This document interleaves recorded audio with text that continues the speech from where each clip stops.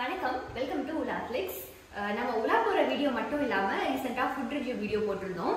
And இது வந்துட்டு பார்த்தீங்கன்னா இன்னொரு ஜானர் ஒரு சின்ன குக்கிங் வீடியோ ஒரு பேலியோவை பற்றி நம்ம வந்துட்டு ஒரு வீடியோ போட்டிருந்தோம். ஒரு ஃபோர் மந்த்ஸ் முன்னாடி. என்னோட weight loss journey and paleo அப்போ நான் என்னென்ன சாப்பிட்டேன் அந்த மாதிரி ஒரு வீடியோ போட்டிருந்தேன். அதுக்கு நல்ல ரெஸ்பான்ஸ் இருந்துச்சு. அண்ட் நிறைய பேர் கமெண்ட்ஸில் வந்துட்டு இந்த ரெசிபி ஷேர் பண்ணுங்க அப்படின்னு சொல்லியிருந்தீங்க. பிகாஸ் அதில் நான் சாப்பிட்ட லைக் ஃபுட்டை வந்துட்டு கடைசியாக எப்படி ப்ரெசென்ட் பண்ணணும் அது மட்டும் ஃபோட்டோஸாக தான் போட்டிருந்தேன்.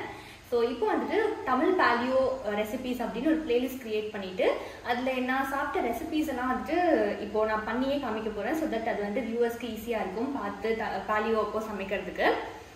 ஸோ ஃபர்ஸ்ட் பார்த்தீங்கன்னா ரொம்ப ஈஸியான ஒரு recipe egg paniyaram. Uh, so அதுக்கு வந்துட்டு நீங்கள் தேவையானது ஒரு ரெண்டு எக் இல்லைனா ஒரு நாலு எக் பிரேக்ஃபாஸ்ட்னா நான் வந்துட்டு ஈவினிங் ஸ்நாக்ஸ்க்காக செய்கிறேன் இது ஈவினிங் ஸ்நாக்ஸ்க்காகவும் செய்யலாம் இல்லை மார்னிங் பிரேக்ஃபாஸ்ட்டாகவும் செய்யலாம். இது ரொம்ப ரொம்ப ஈஸியான recipe and also like very good for paleo beginners so பார்த்தீங்கன்னா ஃபஸ்ட்டு நான் வந்து எக் பீட் பண்ணுறதுக்காக um, கொஞ்சம் மஞ்சத்தூளும் உப்பும் போட்டேன் ஆல்ரெடி இந்த கப்பில் ஸோ இந்த கப்பில் வந்துட்டு இப்போது முட்டையை உடச்சி ஊற்ற போகிறேன்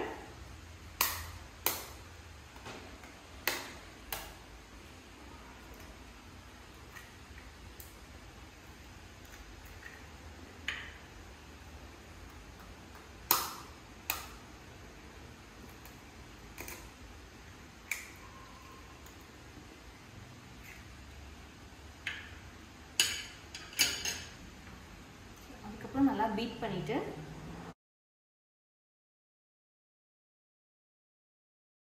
ஸோ இப்போ எக் வந்துட்டு பீட் பண்ணியாச்சு. Uh, நெக்ஸ்ட் வந்துட்டு பனியாரக்கல்ல நான் பட்டர் பீசஸை குட்டி குட்டியாக கட் பண்ணி இந்த மாதிரி போட்டுட்டேன்.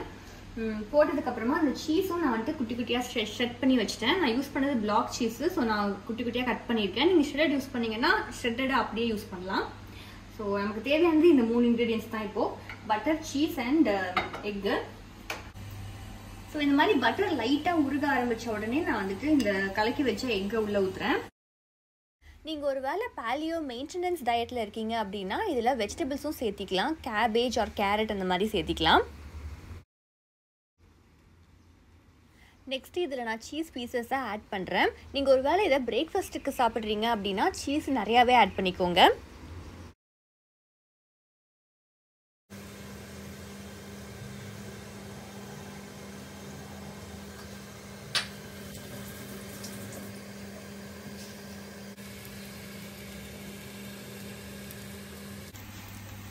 கொஞ்சம் லோ ஃப்ளேம்லேயே வச்சுக்கோங்க. ரொம்ப ஃபாஸ்ட்டாக வச்சிங்கன்னா சீக்கிரமாக கீழே தீஞ்சிரும்.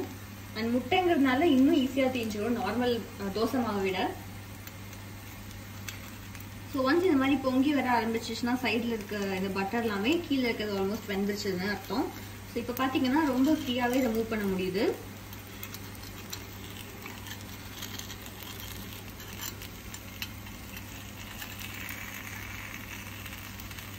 இதை எடுத்துட்டு இப்படி கிளிக் பண்ணி போட்டுருவேன்.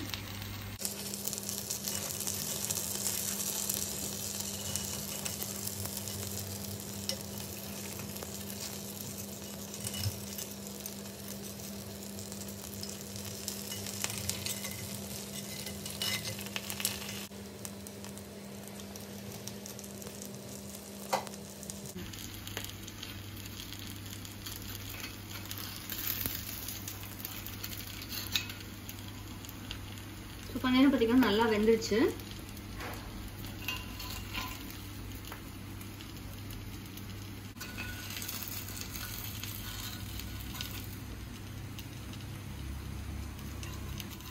So paleo egg cheese paniyaram ready நீங்களே பார்த்துருப்பீங்க ஒரு ஃபைவ் மினிட்ஸ்லேயே செஞ்சுட்டேன். அவ்வளோ ஈஸியான டிஷ்ஷு இதுக்கு இன்க்ரீடியன்ஸும் ரொம்ப ரொம்ப கம்மி. இது நீங்கள் பிரேக்ஃபாஸ்ட்டுக்கு எடுத்துக்கிறீங்க அப்படின்னா எக்ஸ்ட்ரா சீஸ் ஆட் பண்ணிக்கோங்க. அப்போ நல்லா ஃபில்லிங்காக இருக்கும்.